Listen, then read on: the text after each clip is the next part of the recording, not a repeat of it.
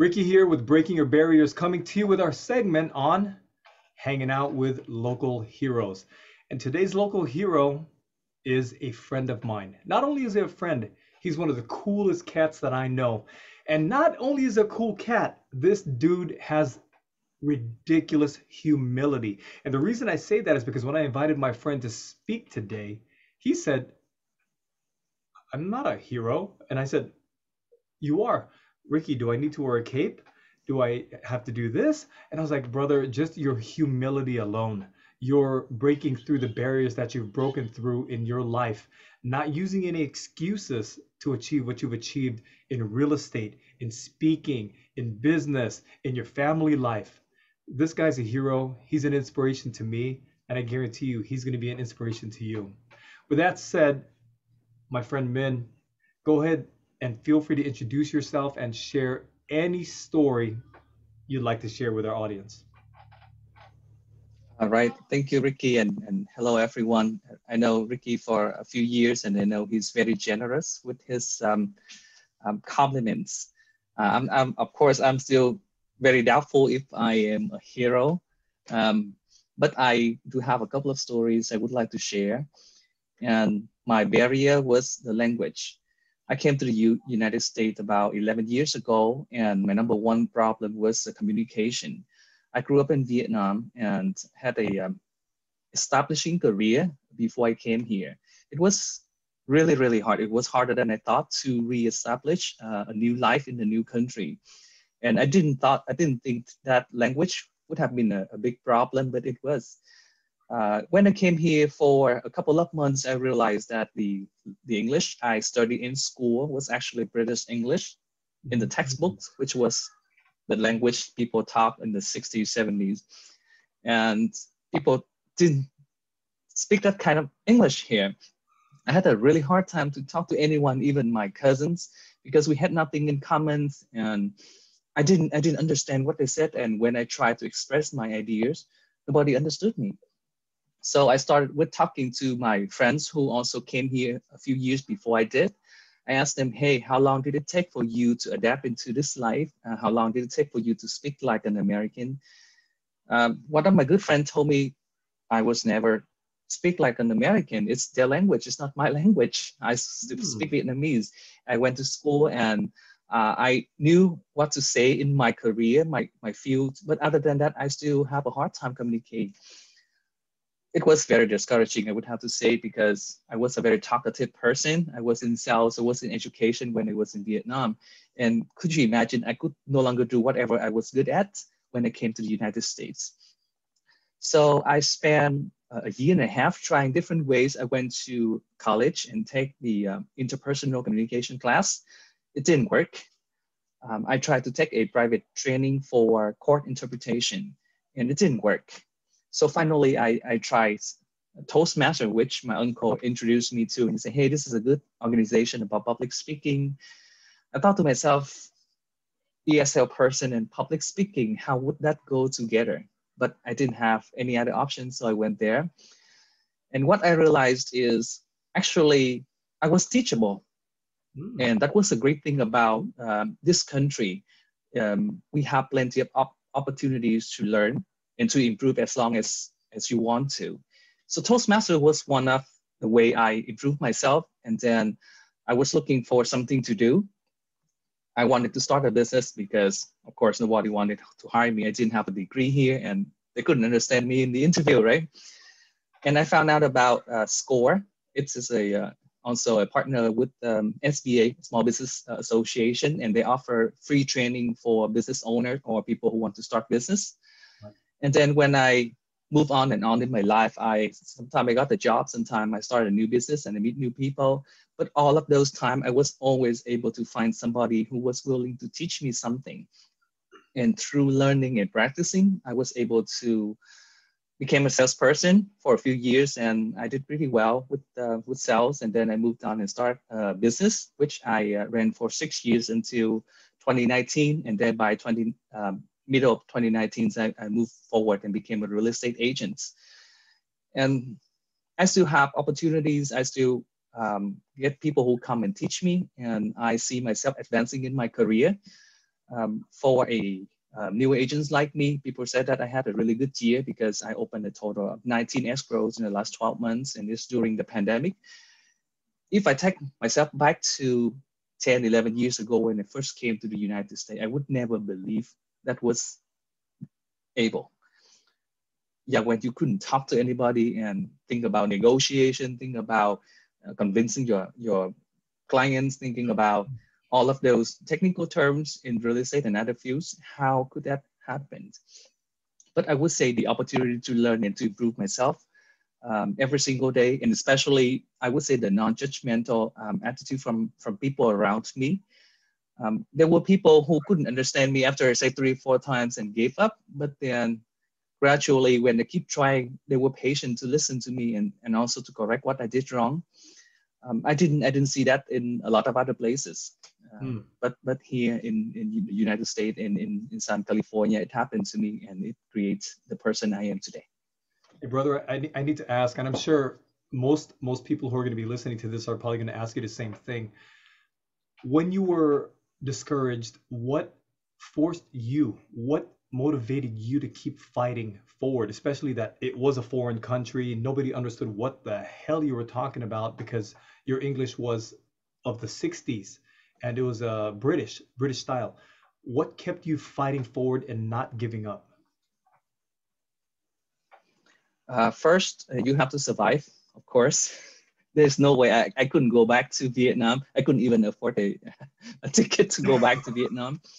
And um, what I learned from movies and from other people talking about the United States when it was in Vietnam is this is a land of opportunity. That is the reason why so many people try to come to the United States and to build a career. So I know uh, opportunities is, is somewhere you just have to go and find it. And at that time, I was in the rock bottom. There was nothing could be worse. Right. Um, I didn't get a job. I didn't get money. I didn't. I didn't even go to school by that time because it didn't work. So um, I would say if I could get better tomorrow, then then this is a progress. And I I have seen uh, people like immigrants like me who were successful by that time, and I wonder there must be a way. I just need to find it. So that's that's how I continue to move forward. I love that. And uh, you know what's crazy about that, brother, is this. I'm born, I'm born here, born and raised in the United States. And personally speaking, if I can't make it here, there's nothing wrong with the country. You said it right. There's something wrong with me. Because there's there is an opportunity. You're right. Because I went back to the Philippines too, and I saw the opportunity there is ridiculously slim you need to pass through the hole of a straw to get that job. Here, if you have a dream, shoot, you can do anything you want. And the, that's the reason why, Minh, I had to invite you because I knew you were going to talk about this, and I was praying you're going to talk about this because you are a hero. Even though you don't have that cape, I'll get you the cape, man. the reason why you're a hero, brother, is because 11 years ago, you couldn't speak American English. Nobody could understand you. Here you are years later closing 19 escrows in a year. Shoot, I know real estate agents who don't close that in a, in many years. You, you're so new to real estate. But the one thing that you carry is you've you have that charisma, and that's one thing I can share as a friend. If I'm telling you, listeners, if you don't know this dude, he's one of the most charismatic people you'll ever meet. Now, here's the thing, my friend. People are going to ask you, hey, Minh, what's the secret? So I'm going to ask you, I know there's no secret, but I want to I want to hear what you have to say when people ask that. What's the secret to your success? I know you learned your English. I know you went to Toastmasters. I know you asked a bunch of people, but how did you succeed so profoundly in what you do? Um, thank you for for asking me this question. First correction, I didn't close 19 escrow. I opened 19. and some closed, some are still going on, and some did not. But um, I would say it keeps me busy. Uh, and regarding to the secrets, I would say um, listening. Mm-hmm. So um, when I was trying to improve my English, what I realized is if I just listen, uh, listen attentively, I would recognize what I did wrong. Uh, many of the times I was watching movie or I was passing by a TV that was that there was some news or something, mm-hmm. and I heard a word and say, "Hey, I didn't pronounce this word correctly, so now from now on I should pronounce this this uh-huh. way." And then I also listen to stories from my friends who have the same struggle or different strugg- strugg- strugglings, and try to understand from their point of view or when I, I went to real estate, I know it is a really tough market and a lot of people couldn't buy a home. So I sat down and listened to my clients and find out what kept them from buying a home. Mm. So from that perspective, I understand the word a lot better because from different perspectives. And then I was able to offer my experience. Most of the time, I just share my personal experience because I was struggling with speaking. I was struggling with buying my own home uh, many years ago so I would just connect with other people by, hey, this is my story. I listen to your story and this is my story. I, I know it's not exact uh, same experience, but I hope that you can get some takeaway and overcome your own problem. And it helps me connect with a lot, a lot of new friends. I have a lot more friends now than, than before. And the conversation continued to going I, occasionally I check up with my friends, like even with you. Uh, occasionally we send texts to each other and see how everything is going and what is your success, what is your challenging.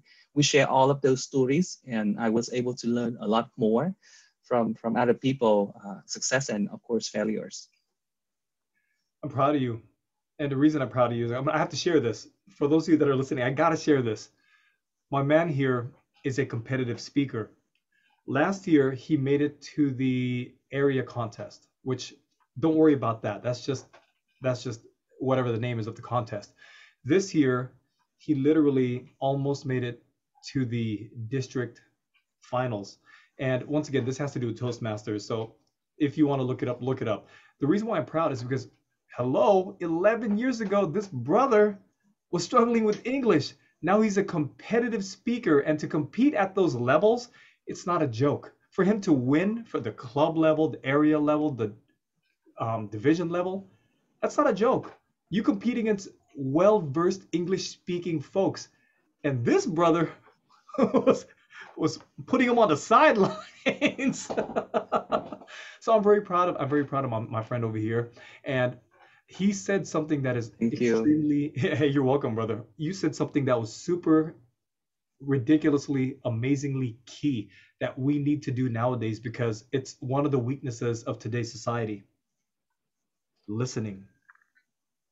Listening intently and focusing on the person you are speaking with. The reason why that's so difficult nowadays is because people are so busy with this. They're always on this. They're wondering, oh, what's the next trendy thing? What's the next cat video? What's the next this? My friend, he said something so profound and it is so ridiculously needed in today's society. We need to learn how to listen. And when we listen, we need to listen intently. We need to look at the person, give them our 100% focus for that few minutes. And guess what? Not only will you become a better friend, you will understand and comprehend much more. Minh, thanks for that. That's that's amazing. And if there's anything I can ask you, it would be it would be this. Regardless of a person being local from the United States or an immigrant from another country, what tips, what advice, what suggestions, or what life experience could you give somebody who believes there is no hope? Um, I would say if you think there is no hope, I totally understand that because nowadays we see so many negativity on the newspaper, on the social media. Uh, we've seen a lot of um, inequality, um, and sometimes we believe that um, this is we're, we're, done. This is all that we got. Uh, 10, 11 years ago, when I first came here, uh, I had the same perspective because several people told me that you never succeed in this country because this is not your your home country. This is not your culture. This is not your language. And you're just hanging there and hopefully your kids your grandkids will be successful. I would say that is not right because um, at least I am moving up in my career and in my uh, personal life here in the U- United States. Mm-hmm. I do feel like I am, um, I wouldn't say I'm fully American because you can still hear my accents, you can still see a lot of uh, cultural difference um, when I talk. Like I don't, I, I smile and nod a lot instead of res- being responsive. But I do feel like I am an American now. So if you feel like you have no hope, I would I would um, highly highly um, encourage you to think about just one thing that you can do better. It can be better something better for yourself. It can be something better for the person next to you.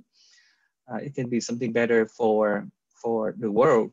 It depends on how how how much you want to to do, and just do one thing every day, and a week, a month, a year, have a self-reflection and see how that impacts other people around you.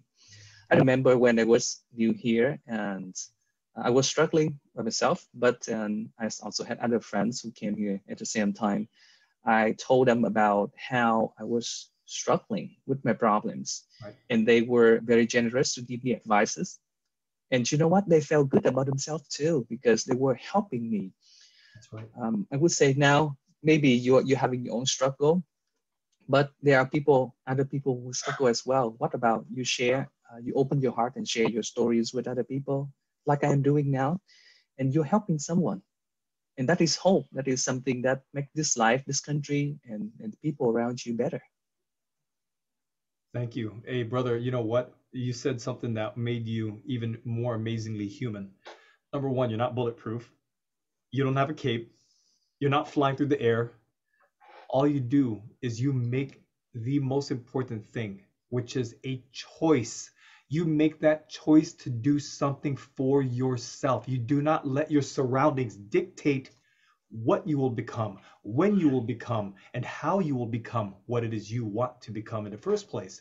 You, brother, you choose it every single day. Now, granted, you and I have that day where we just say, you know what? I'm going to watch YouTube channels. I'm going to watch TV all day long. We're not robots. There's going to be days when you say, screw it. I don't want to do nothing.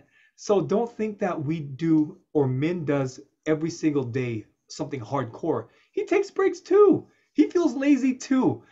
Laziness is not based on race. Laziness is global. Everybody's lazy from time to time. Right. and what I love about what you said was you feel more American. Now, one thing I've come to realize is this being American is in the heart, being Vietnamese like yourself is in the heart. And the reason why is because that's your that's who you are, that's your culture, that's where you come from. Love that, embrace that, bring that beauty of your culture to America. So the people that don't understand it learn about you. And that's and you're right, you're sharing stories. So if somebody had a misconceived notion about Vietnam, when they speak to you, they realize, you know what? Vietnamese folks are just as crazy as American folks in a fun way and in their own quirky ways. Now we have our little differences, but I'll tell you this being American is not a color, it's not a race, it's not an age, it's in your heart. I'm American to the heart. I'm also Filipino to the heart. My man is American to the heart and he's also Vietnamese, but we love America. And I love I love that. I love everything you've shared, brother. If if I can I'm just gonna say it because people are probably wondering, well man, what did you do every single day? We want to know what specific thing you did every single day to get you to where you are at today. I want to know that. That's probably what they're thinking. So if there's something you could share, man, let us have it. Uh, okay, one thing I have been doing almost every day is learning. I even though I graduated from uh, from MBA in 2016, and I haven't went back to any school since then. I kept learning. I took online courses, and when I went to real estate, there are trainings. And if I'm not in trainings, I um, go to libraries. Actually, my wife and I date in library. Um, yeah, that's how boring we are, or nerdy we are. Depends on how you look at it. But um, I would say the the ability to continue to educate yourself is really a gift because your life will never be boring. Your life will never be hopeless. Everything, every day you learn something new and it opens more opportunities. It opens more um, connection. You know more to talk to, you can connect to more to different people. And um, reading is not that boring. Maybe not as fun as watching YouTube video, but sometimes you just need to take a break and read something and let it go through you in the in the pace that you want uh, instead of having a five minute, 10 minutes where people just push information through your brains uh, from, from a video. Um, and, and try different things. If you, if you don't like reading, you can do audiobooks um, or you can just talk to people with experience, experts, and you learn from, from their stories. But try to learn something new every day. That is, that is my number one um, recommendation. Thanks, man. Man, wow. Now, for those of you who are listening, Minh's friends, as well as those who land on this channel, I hope you're blessed by the message Minh left for us today. And like I told you, this brother of mine, he's a friend of mine. I'm actually very blessed to call him my friend. And he he inspires me every time this guy speaks. He's one of the funniest guys you'll you'll meet. I know that from experience. if you ever get a chance to know this man, trust me, he's he's one of the funniest guys. Now, with that said, the messages that he, the advice messages that he left for us are extremely profound. Number one, there's two, there's three things. Number one, do not use reasonitis to fail. Don't come up with reasons. I don't speak English. I don't have this. I don't have an education. I come from a different country. I have only one arm. I have only a small amount of intellect in my brain. Stop giving yourselves reasons to fail. That's what that's what Minh shared first and foremost, because he came here not knowing anything, but he didn't use that as a reason to fail. Number two, you're going to make a choice anyway. Why would you want to make failure an option? Don't make that your option. What you do is you choose success as you fail along the way. That's what you have to do. And thirdly, have a wonderful, wonderful attitude. Be kind, be willing to help, be willing to pay forward the kindness. And with what, what my man shared at the very end, always, always find a way to educate yourself so that you can find more ways to relate to people you don't know yet. You'll have something to talk about. You'll understand why they are that way, and you'll have more friends. Now, with that said, I just want to say thank you, a brother Minh. Thanks for being being here today. You you inspired me. You always do, but you always inspire. You inspired our listeners, guaranteed. Thank you, Ricky, for the opportunity to share my story. Uh, I hope that uh, it will help you, if, if any, um, and uh, for a moment inspire you to move forward and, and, learn more. And of course, I look forward to um, more stories from, from you with, with Ricky in the future. You got it, brother. You definitely going to be on here. Now, he he said it.